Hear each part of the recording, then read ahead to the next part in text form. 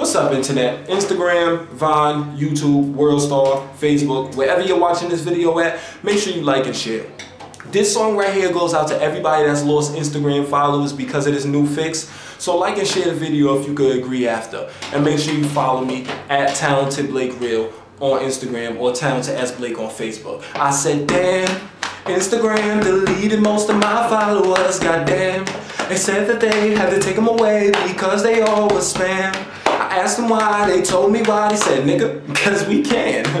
Instagram deleted most of my followers, goddamn, I just had 10k. Now I'm at 3.2 all in one day. So what if they fake? Why you take them away? I mean, they gone now, so it's really nothing to say. I mean, I always had the likes, I was getting the holes, but now I'm down to 100. Where the hell did they go? Like for real, I just now lost them shits. Be serious, IG, I just brought them shits. Be for real, IG, why you do this to me? After all them promos, this how you do me? So fuck Instagram, I'm deleting it now. You said I got 100 likes shit. Give me a while. I said, damn, Instagram deleted most of my followers. Goddamn. They said that they had to take them away because, because they are.